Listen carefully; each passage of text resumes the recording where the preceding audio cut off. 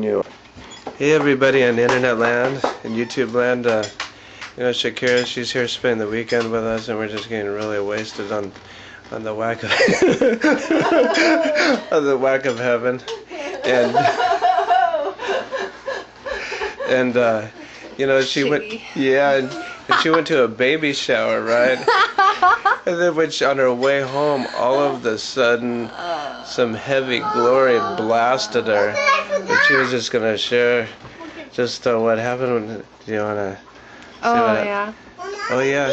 I mean, yeah. I mean, did it? Uh, so did it happen by? Uh, did you did you earn it or? No. Oh, you didn't earn it. I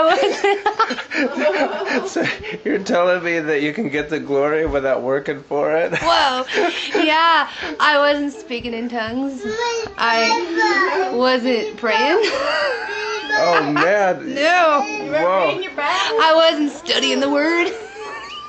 I wasn't preaching. Oh man. I was just sitting in a car. Oh, whoa, so you're telling me that the Spirit is given by faith and not by works? Come on.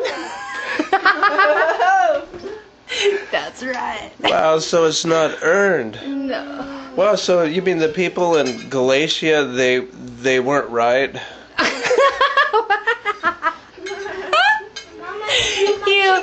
It was done on the cross. Oh, wow.